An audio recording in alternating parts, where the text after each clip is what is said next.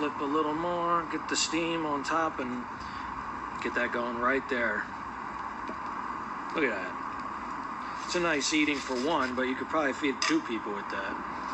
And then, of course, you put that on top. I mean, look at that. Of course, we're going to finish. We usually finish with sriracha on my channel.